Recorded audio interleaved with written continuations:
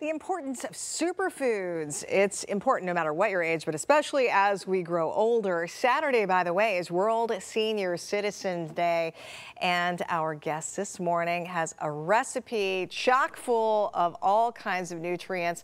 We're excited to learn about this. Joining us live is Shanti Appello, a registered dietitian from Blue Cross Blue Shield, Michigan. Always a pleasure to have you with us, Shanti.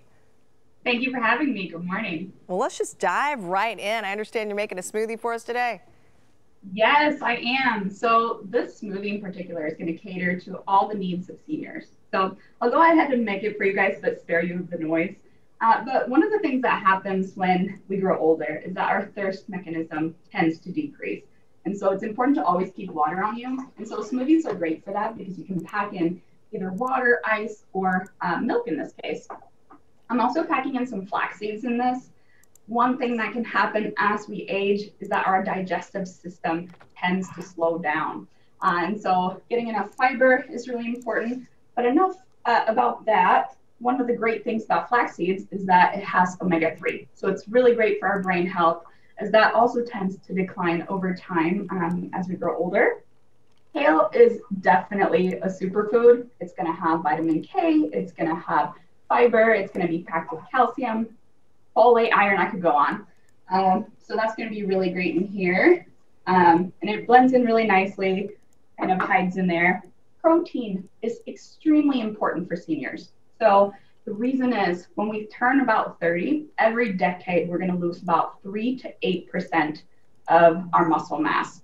That increases even more when we turn 60. So we want to pay attention to getting enough protein uh, and also exercising to keep up with our lean body mass.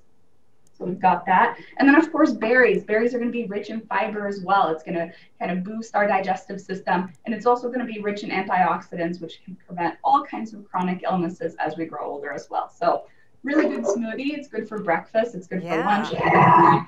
Yeah. For sure. Now, when you put the milk in there, does it matter what kind of milk you use? Should we go for the whole milk, vitamin D, or is soy milk, almond milk, some of those other milks uh, a good option?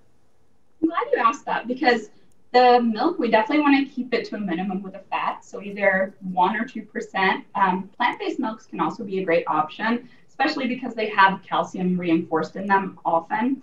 Uh, so we want to look for a dairy that's going to have about 300 milligrams of calcium. Again, something that's so important for seniors because as we age, our bones become more brittle. Um, women need to increase their calcium intake around age 50 and men around age 70. Have you found uh, using things like, oh, I don't know, MCT oil or powder uh, in smoothies is something that uh, seniors and others might benefit from? You know, medium chain triglycerides can be really helpful because they're not found in our diet. So they can be uh, very commonly, at least, they're found in avocados and things like that, but they can be really helpful for digestion, overall kind of uh, support. And like I said, it's not found everywhere, so it can be good as just a part of a balanced diet. I'm also curious, like a lot of people take many pills and supplements um, throughout the day and the week. Um, is it better or, or are those vitamins more bioavailable if you say drink them or eat them versus taking them in pill form? Yeah, so definitely it's going to be much better to consume them in actual food. One of the reasons is is that the nutrients are going to work in synergy with each other when they're found in a food versus in a supplement. Now, for seniors though, it can be helpful to supplement with certain nutrients that you're not going to found in food as much. So around age 50, some physicians are going to recommend doing a B12 supplement. So just talk to your provider, see what's right for you. But for some people, benefits really from those supplements. Well, Shanti uh, Appello, thank you so much for being with